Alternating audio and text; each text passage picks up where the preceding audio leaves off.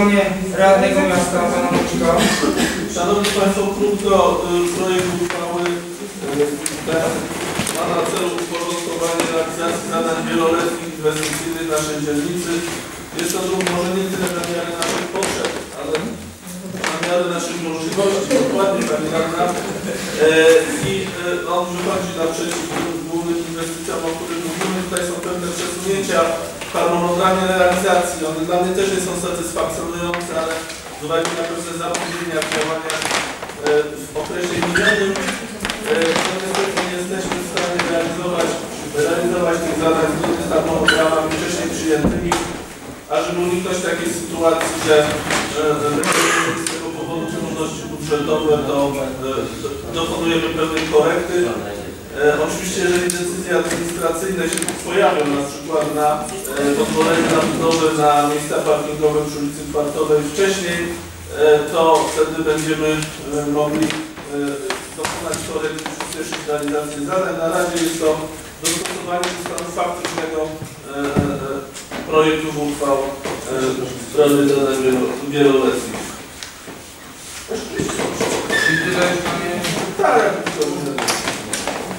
Ja tylko chciałbym tutaj dodać, że zostały anulowane uchwały, które no niestety robiły zamieszanie bardzo duże z naszym budżetem. Zostało to jakby w sposób usystematyzowane. Myślę, że będziemy pilnować tutaj, aby te środki były właściwie wydatkowane na lata przyszłe. Otwieram dyskusję. Proszę bardzo. Łukasz.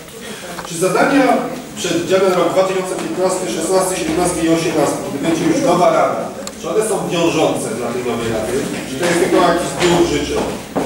Czy jest, rozumiem, przymus prawny, że następna rada nie będzie mogła zmienić w zadaniach na rok 2018 przebudowa? Można powiedzieć, zgodnie z nowym statutem miasta Krakowa przyszła rada będzie musiała y, rozpoczęte zadania, zadania realizować do końca. Wszystkie te zadania są zadaniami rozpoczętymi, dlatego też proponowałem przewodniczącemu i taką koncepcję też przyjęliśmy, aby nie tracić środków publicznych, y, że wieloletnie zadania y, będziemy realizować tylko te, co do których, y, co do których już, y, co do których już działania zostały rozpoczęte, czyli są w nie zaangażowane pieniądze podatników. Te pięć zadań zostało wskazanych do dalszej realizacji, natomiast reszta zadań, które były albo nierealne, miały źle, stworzoną perspektywę, y, y, źle stworzone zasady finansowania, albo jeszcze nie były rozpoczęte, zostały, y, zostały anulowane. No nie tworzyć takiej fikcji. Natomiast prawda jest taka, że statut miasta Krakowa, który obowiązuje od, od 27 maja bieżącego roku, nakłada na Radę niezależnie, czy kiedy jest wybrana na Radę jako instytucja obowiązek realizacji zadań y, rozpoczętych e, e, e, rozpoczęty wcześniej. Tutaj nie ma kadencyjności. Podobnie zresztą z Radą Miasta Krakowa, z prezydentem i z każdym innym organem. Ja nie widzę, e, nie widzę e, tutaj powodu, dlaczego jakaś jednostka miałaby być z tego wymogu, e, z tego wymogu wyłączona. Istnieje coś taka zasada jak zasada kontynuacji, kontynuacji prawnej. Jest, że w związku z tym, w związku z tym ta zasada obowiązuje w tym przypadku.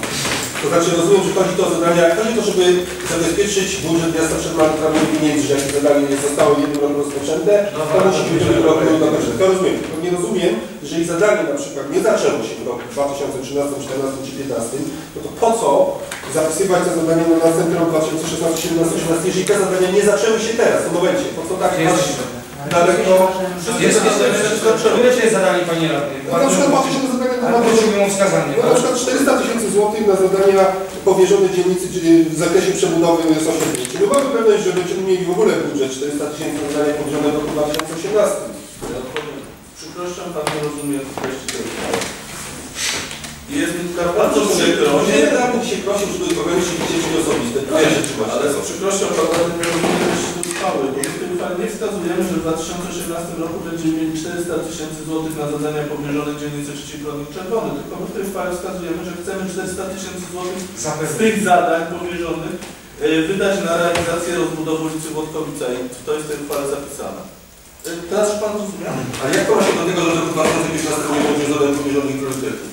Y, Rada Dzielnicy ma obowiązek y, przygotowywać uchwały w oparciu o istniejące standardy. Na dzień dzisiejszy te zadania, y, na dzień dzisiejszy te zadania są, wieloletniej prognozy finansowej i jak widać, y, jak widać te wszystkie rozbicia i nasze środki są tutaj w takim załączniku drugim wskazane. O, i w każdym z tych załączników mamy wykazane na przykład tworzenie zielonych sfer, budowę modernizacji pracowniczej infrastruktury, również zadania przebudowy.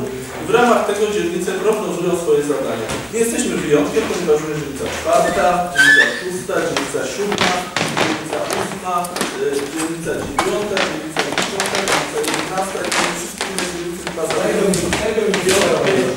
E, e, To jest, wizjer szkoda, szkoda papieru. W tej, w tej formie e, przygotowują osiągami w systemie wieloletnim. Zgodnie z obowiązymi aktami prawem. Dziękuję bardzo. Proszę bardzo, Pani Karolina Majkowska. Ja mam tylko e, pytanie na ulicy Włodkowica. Czy musimy całe bite dwa lata e, kupić na etapie mm, opracowywania projektu? No 2015 opracowanie projektu, 2016 e, dalej opracowanie projektu. Czy nie można tego przyspieszyć do jednego roku? Czy musimy dwa lata go Znaczy niestety, niestety Zarząd Infrastruktury Komunalnej i Transportu, który jest realizatorem zadania określił, czy podtrzymuje stanowisko, że nie można e, przebudowywać e, zadania przez rozbudowę ulicy Włodkowica w trybie ZRIT, czyli w trybie specustawy, gdyż jest to ulica wewnętrzna i oni widzą potrzeby, aby tą ulicę przekształcać na drogę publiczną, czyli tak jak myśmy chcieli, żeby to była ta najniższa kategoria drogi publicznej, czyli tak zwana droga dojazdowa. W związku z czym jesteśmy zobligowani i przedstawili nam w tym piśmie też e, e, ich zdaniem, e, jak powinien wyglądać cały, cały harmonogram realizacji i cały harmonogram płatności za to, na tej podstawie to, na tej podstawie to powstało. Dla mnie to też jest niesatysfakcjonujące, ponieważ faktycznie będziemy szli tak zwanym i będziemy musieli robić, e, uzyskiwać dwie decyzje administracyjne, czyli decyzję WZ i decyzję, i decyzję klasyczną o pozwoleniu na budowę zamiast jednej decyzji tak zwaną ZRIT, czyli zgodę na realizację inwestycji drogowej. Bo niestety takie stanowisko e, e, jednostki realizującej, no my jesteśmy zobligowani, żeby w tej formie to zadanie wskazać. Proszę bardzo.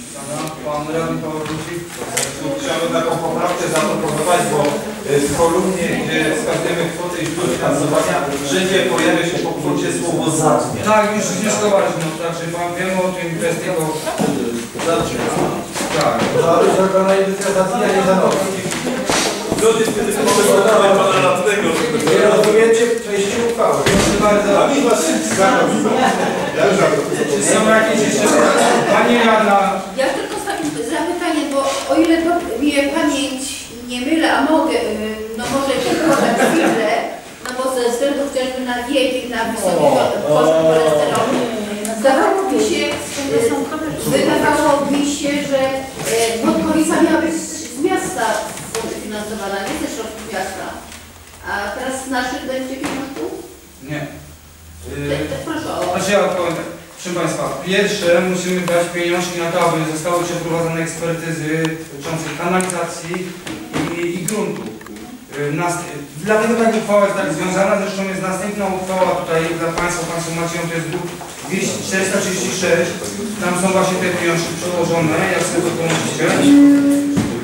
I tutaj na tej podstawie, jeżeli wyjdą badania geologiczne i badania tej e, kanalizacji w sposób odpowiedni, to będziemy wtedy po prostu iść tym trybem, że my będziemy wnioskować pieniądze, będziemy też e, oczekiwać wsparcia przy radnych miejskich, pana Dominika myślę, że na pewno tu będzie takie wsparcie i te pieniądze będą w jakiś sposób wpłyną na ulicę Włodkowica, ale dlatego sformułowaliśmy to w taki sposób, bo może dojść do sytuacji, że będzie potrzebna wymiana gruntu na głębokości na przykład 5-10 metrów.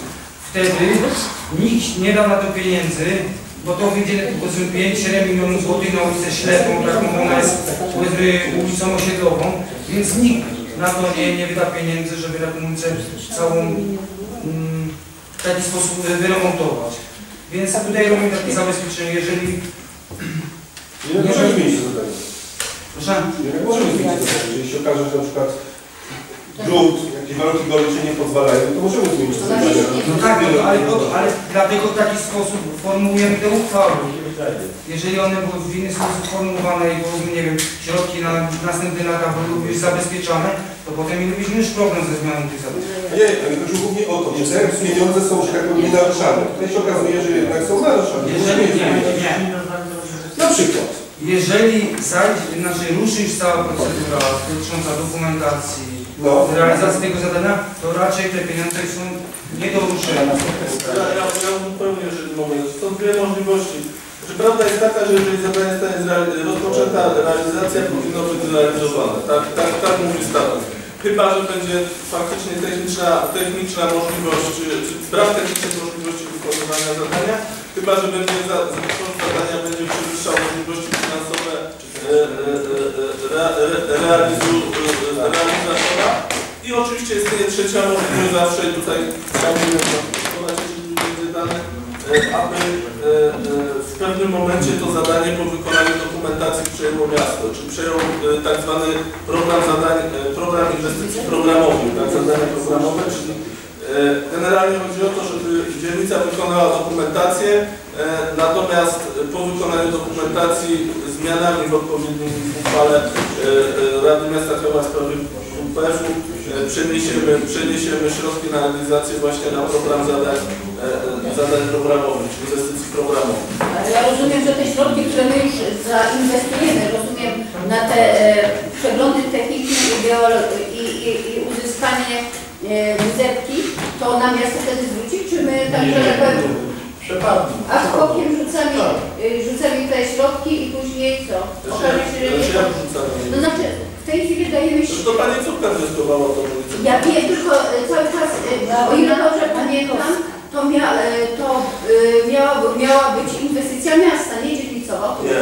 nie? Projekt i dokumentacja miała być zrobiona przez dzielnicę, Dzielnica, natomiast a- realizacja miała być finansowana przez miasto, że będzie taka możliwość i dożyjemy tego w dobrym zdrowiu. Proszę bardzo, e, pan radny, nie? Czy jeszcze pytanie widzę? Przystąpię do głosowania na drugą 434 kto jest za poparciem projektu. Proszę o poniesienie ręki. Dziękuję bardzo. Kto jest przeciw? Przepraszam, tak, jest przeciw? Nie ma. Kto się wstrzymał? Nie ma. Jedna osoba. Yy, Uchwała została podjęta.